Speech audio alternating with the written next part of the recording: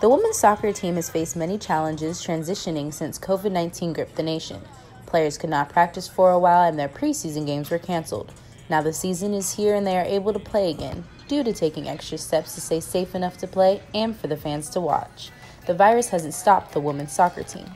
I think honestly it's helped us. Uh, you know, obviously no one wants to be cooped up like we were um, for April and March and all that kind of good stuff. But at Zoom, which uh, has helped us.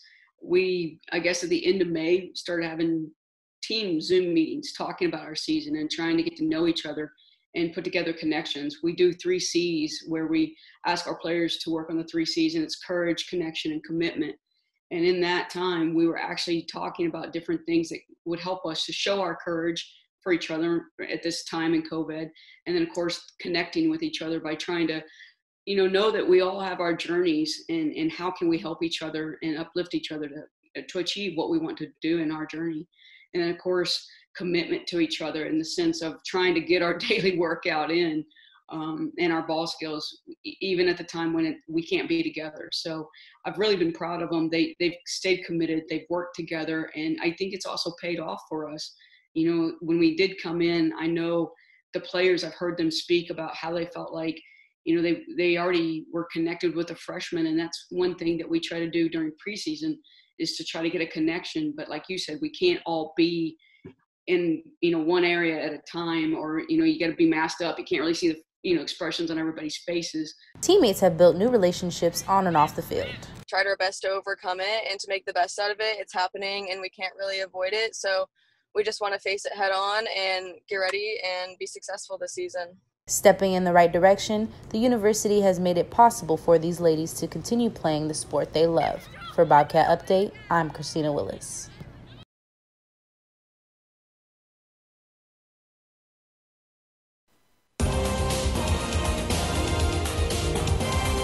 Hello, welcome to our latest edition of Bobcat Update. I'm Christina Willis. Today we have stories across Central Texas to bring you, but our focus, of course, is what's happening at Texas State University. Prospective students are again allowed to tour the campus. The Welcome Center at the LBJ Student Center reopened last week and is offering tours after a long break. Shelby Copeland has the story.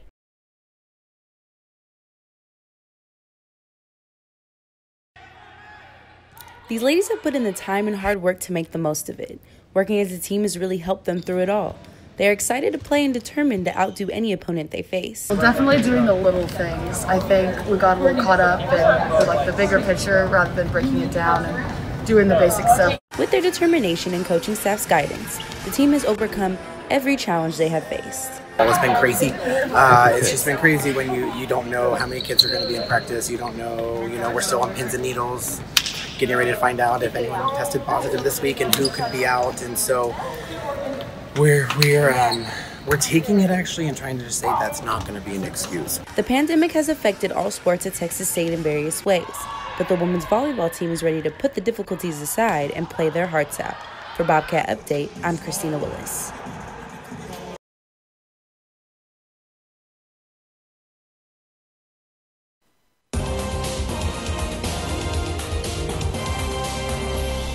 Good afternoon. This is Bobcat Update. I'm Christina Willis. The votes are still being counted in some battleground states. Former Vice President Joe Biden leads in the popular vote and appears to have enough votes to secure an electoral college victory as well. However, President Trump says he will demand selected recounts and will contest the outcome in the courts. The 2020 election had more voter turnout than any election in American history. Republican incumbent U.S. Senator John Cornyn won re election on Tuesday. His challenger was former Air Force pilot MJ Hegar. Cornyn received 53.7% of the vote. Texas has not elected a Democrat to the U.S. Senate since 1988. He was first elected to the chamber in 2002 and serves as Majority Whip. The 21st congressional seat was up for grabs this week in a race between Democrat Wendy Davis and Republican Chip Roy.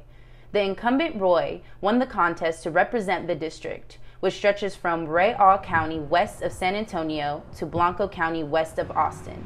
He defeated Davis, a former state senator, 53 to 46 percent. San Marcos Mayor Jane Hughson is leading in her reelection bid.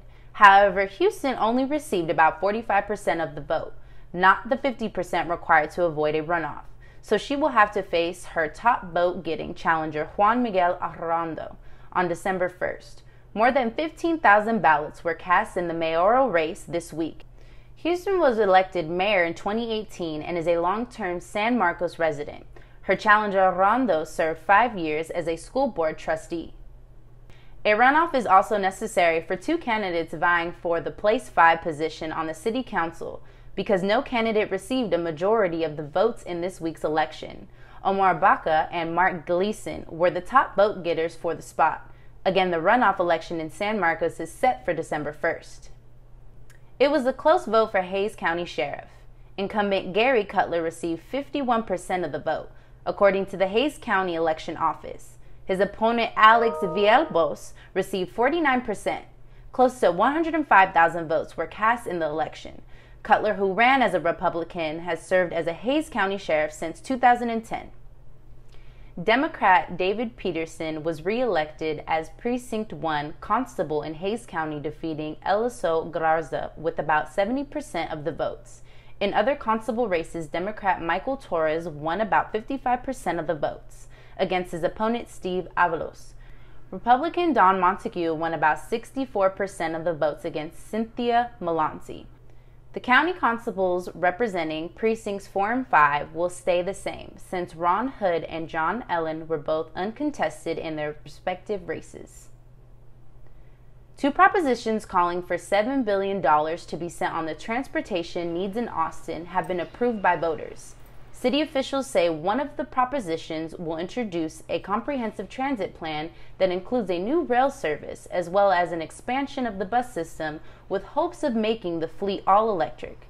The long term plan will provide for an underground rail service connecting Austin Bergstrom Airport to downtown Austin.